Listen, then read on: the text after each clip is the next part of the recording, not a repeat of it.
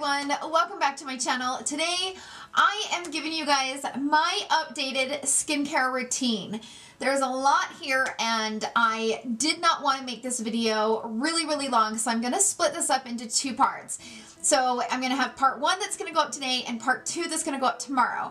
Today is my daily routine and these are things that I reach for on a daily basis to maintain the glowing skin and trying to keep the hyperpigmentation down below the skin surface and my adult acne. So these are all things that I use. But tomorrow's video, I'm going to be going through all of the products that I have been testing and trying from the brand The Ordinary there is a lot that I've been testing out for several months. I think I started the process probably back in like May. There's some really good products that I found in that brand and there's some duds. So in tomorrow's video, I'm going to get into all of that along with what I did to get rid of my adult acne and get it under control and also what I did to get rid of really bad hyperpigmentation. When I say I had horrible hyperpigmentation, I am not lying. I had a mustache, I had it above my eyebrows, I had it right here on my cheeks. It was terrible. So I'm going to get into all of that in tomorrow's video. But today we're just going to talk about my daily skincare routine and I'm kind of excited about it. Let me just say this. When this video goes up, today is the last day. I have several products in here that I ride or die from the brand Tatcha. So today is the last day that they are having a 20% off sale on their website. The code is FRIENDS19 and yes, I've been stocking up. I've bought quite a bit in the last couple of days. But I always like taking advantage of buying my skincare on the 20% sales, whether it's at Sephora or on, you know, the brand's website or a Nordstrom sale or whatever it is. I always try to take advantage because a lot of my skincare is more expensive. And in tomorrow's video, I'm going to go through the ordinary products and give you guys some alternatives to some of the products that I use at a more affordable price. So we're going to start with my morning routine. When I wake up in the morning, the first thing I do is cleanse my skin with this. So this is the Tatcha Pure one Step Camellia Cleansing Oil. The reason why I like to use a cleansing oil in the morning is because at nighttime, that's when I do more of my like deep cleaning and I don't want to over cleanse my skin. That's the one mistake that a lot of people make is over cleansing. Yes, you need to wash your face twice a day, but you don't want to be using really harsh like deep cleansing in the morning and at night. So I use a gentle, mild cleanser in the morning. This one is fantastic, but I recommend any cleansing oil in the morning. I, I feel like it's just made a world of difference when it comes to the overall health of my skin. So I like this one from Tatcha, but if you can find one that you like, definitely cleansing oils are amazing. Then during the winter time, not during the summer, but during the winter, I am more dry. And I will go in with this. And I just bought me a large bottle. This is the only one I have at the moment. Um, I just bought me a new one from the Tatcha website, but this is the Essence. This is very expensive, but this is like their plumping skin hydrator. Like this hydrates my skin so well, especially during those dry winter months. It's very expensive, but it's a fantastic hydrator. So I will use this to kind of tone the face. During the summer, spring, and fall when I'm not so dry and I'm just more normal, I will reach for this toner from Lancome. But lately, I have been absolutely loving this from The Ordinary. And the only reason why I'm talking about this product, I will get into all the details about this more in tomorrow's video. But this one is the glycolic acid 7% toning solution phenomenal toner. After like, that's kind of toned and my skin's kind of, you know, nice and really dry, then I go in with this. This is from Obagi. So this is the Vitamin C Arbutin. It's a brightening serum and it has 10% L-ascorbic acid. And this is so good. Like, one of my favorite vitamin C products. And I like to do my vitamin C serums in the morning and this one is just the one of the best that I have found. I know that Drunk Elephant I've heard has a really good vitamin C, uh, but I do like to have a good vitamin C in my routine and I cannot recommend any type of vitamin C in your routine. It's just, it's amazing. I cannot recommend it enough. Then I will go in with this. So this is the Tatcha Silk Peony. This is the best eye cream for hydration. You guys, it's so good. I put this underneath my eyes during the day just to keep them nice and hydrated. And when I go in with my concealer, you know, when I start to do my makeup, my under eyes are nice and hydrated. And if you have dry under eyes, this will completely change that.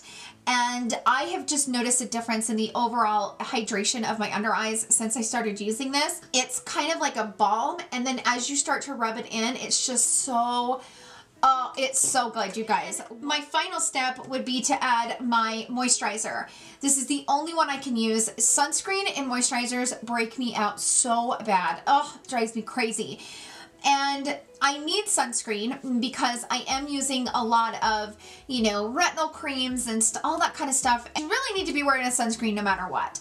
And when you have adult acne and sunscreen can irritate it and break it out, it's really hard to find a good sunscreen. So I found this one from Dermalogica my dermatologist recommended it to me.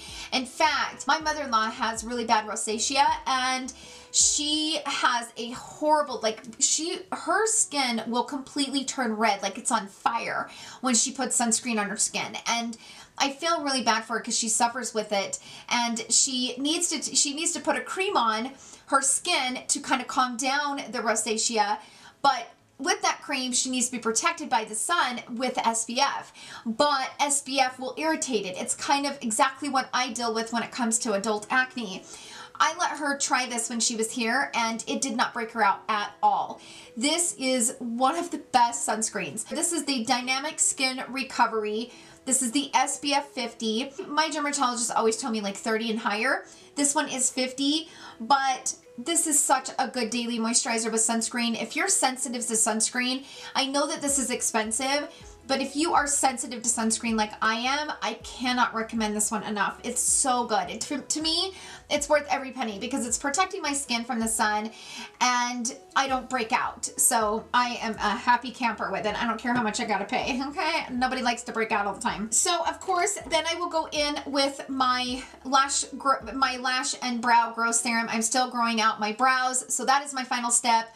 Normally I would take a rag and kind of wipe out any type of product that's in my brows and kind of wipe around my eyelashes and I will stick these on and I'm done. And then I wait about, I don't know, maybe 30 minutes to an hour before I start doing my makeup.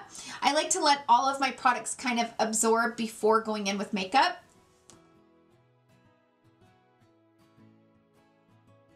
So the first thing I do is I grab my Clinique Take the Day Off. Nothing takes my makeup off like this.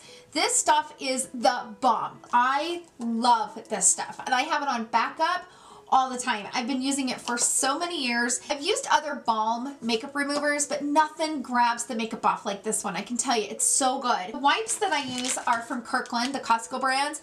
This is my favorite for like wiping off the balm. My dermatologist told me that it's always good to use some type of cleanser or balm, something that's very gentle. That's what I like about the balm is that it kind of removes all the dirt and gunk out of my skin.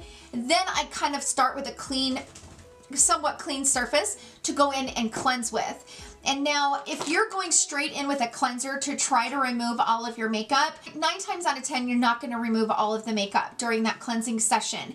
So she always recommended, especially if you guys have enlarged pores, if you do not take care of your pores and keep them from getting all dirty and gunky, they will look enlarged. And to minimize your pores, cleaning your skin is key and removing all of your makeup with some sort of a balm and wiping it away with like a wipe and then going in with a deeper cleanser is key to removing all of that makeup out of your skin. So that's why I love this. And then I will go and grab my Tatcha Deep Cleanse. This one I love. Like these two are so good. Like I cannot, oh, they're so good. I use one pump of the of the um, oil and I use a tiny, like little teeny drip, like a little drop of this.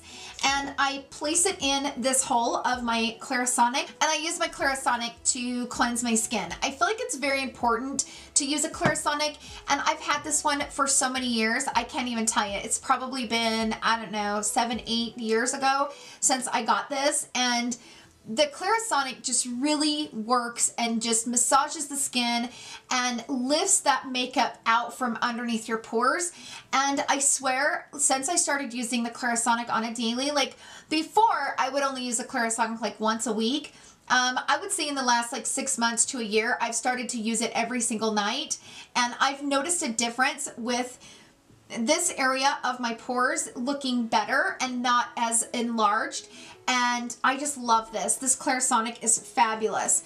So it takes about two minutes and I just massage it. It turns off on its own. It has like its own little timer. So then I rinse that away and I pat myself dry. But let me just tell you, these washcloths, I got these on Amazon a couple of months ago and they are like the greatest thing I have ever used to cleanse my face. You guys, these are so soft.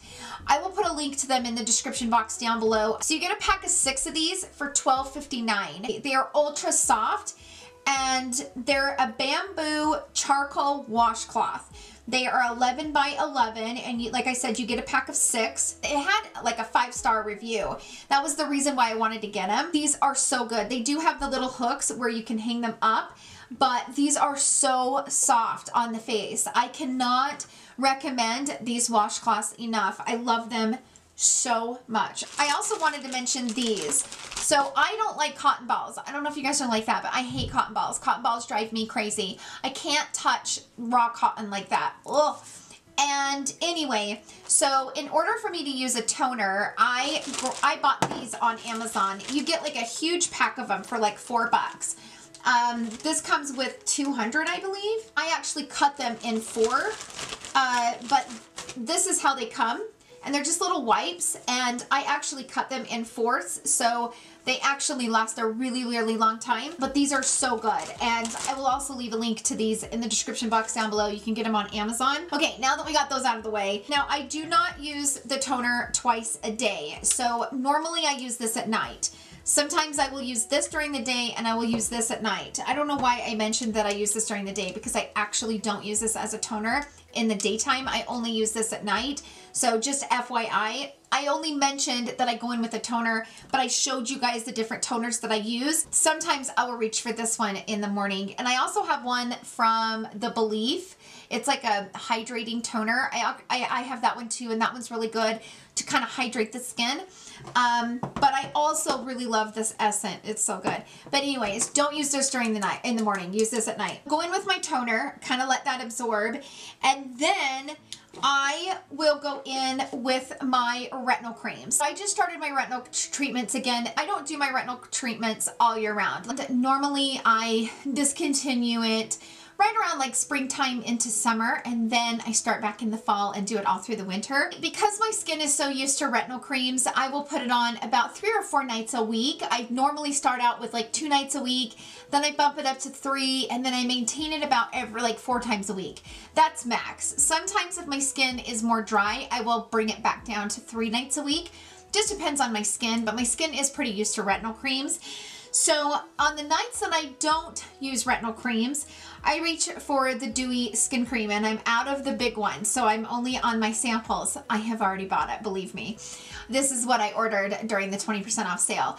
But this Tatcha Dewy Skin Cream is like heaven in a jar. It is the best skin cream I have ever used in my entire life. I don't think I've ever used anything as creamy and like my skin just really absorbs it and it keeps me hydrated all throughout the night. If you guys have dry skin, I know that some of this stuff is very expensive and I completely understand that. If you have dry skin, this was this one is the one that I would splurge on because this will keep your skin so hydrated and so dewy and just plump and just, oh, it's so good. It is one of the best skin creams I've ever tried. This one is definitely hands down the best. So I have a couple of different retinol products that I like to use. My number one favorite combination is this one. So this is the Refissa. This one is kind of hard to find. I like to mix it with my blender from Obagi. Now my, my blender is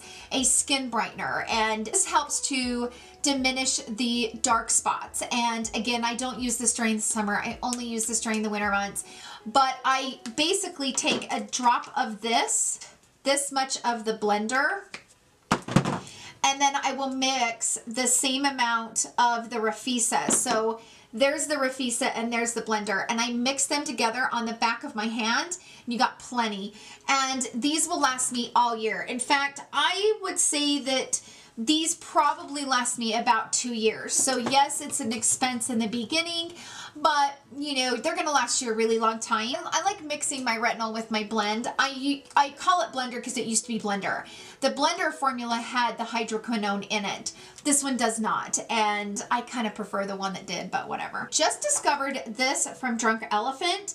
Um, this is the uh, retinol cream. This is their 1%. This is a good retinol cream. I have been really impressed with it, and I've thought about buying a larger size of this one. Uh, because this is a good retinol cream. I could tell right away it was a fantastic retinol cream. So if you're somebody that has sensitivities to retinols, this one is fantastic. This one is from Wander Beauty. It's called Do Not Disturb, and this is also 1% retinoid, and this is a fantastic cream and it doesn't cause me to have any sensitivity. In fact, I was able to use this pretty much every single night and it didn't make my skin feel red and raw and hurt and all of that. So it's a very, very gentle, gentle retinol cream. Now, if you're just maybe allergic to retinol or you just do not want to use retinol at all, I completely understand. Up here on the screen, I will put a picture of the product that I really like from Ole Henriksen. It is kind of their retinol alternative and it is fantastic.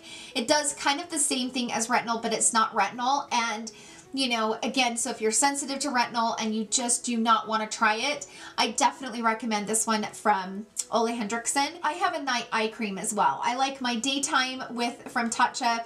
This is the one I use at night. This is the Obagi Elastiderm.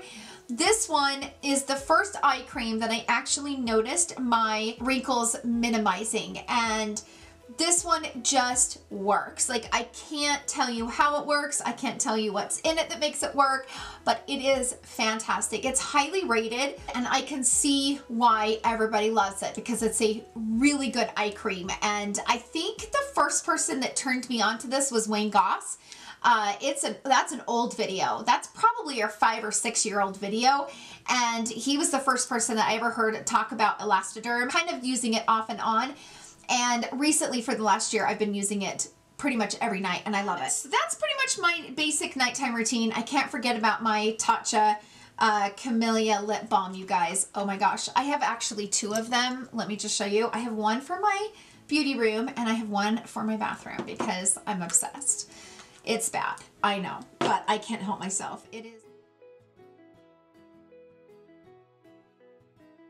So let me talk about like the divine, you know, like shaving my face and my masks and all that. I do shave my face once a week. I use this, which is a straight face razor. Uh, you get like three of them for a couple bucks on Amazon and I will just kind of, you know, shave the face. This one works as all like also as a exfoliator, which is really, really good. Uh, I really like these. These are great. And the thing that I like about shaving my face is number one, it does exfoliate. And number two, my makeup just applies so much better. When you shave your face, you will never go back. You will never ever go back. I also really like this face shaver. So this one is the Flawless and this one needs to be charged. In fact, I might have a charger down here that'll work for it so you can hear what it sounds like. That's as far as we're gonna get on the camera. That's what it sounds like. It just kind of goes around and shaves your face. It's like an electric shaver for, just like a man's electric shaver. It's the exact same way. It is fantastic. Both of them are really good. As far as masks go, this is from Wander Beauty. This is the Lift Off Purifying and Brightening Pill Off Mask. This is one of my favorites because I love to peel off masks. They, I just think it's so fun. But um, this just makes my skin look and appear to be brighter.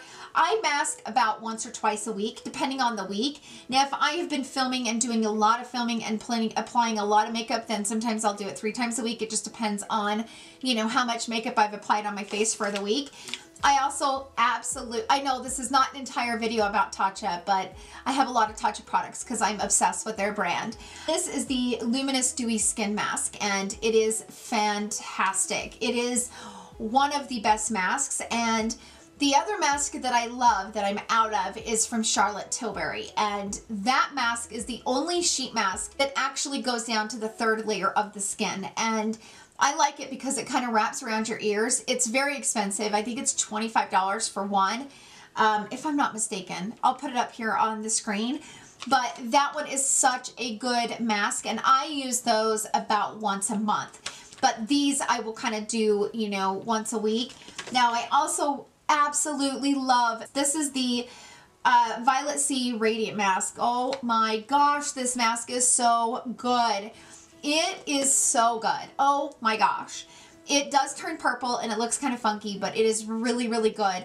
It, it does make my skin just look really radiant and it's good. The other one that I really love, a friend of mine sent this to me. This is called the Pretty Baby Naturals and she created her own naturals brand. This is good. I don't know exactly how much this is off the top of my head because she sent this to me, but I will put a link to this in the description box down below and I will also, you know, put the information here on the screen so you guys know. Uh, you know, everything they have is all natural. This is the Masquerade Natural Face Mask. It tightens pores. It's supposed to be deep cleansing, non-drying, and for all skin types.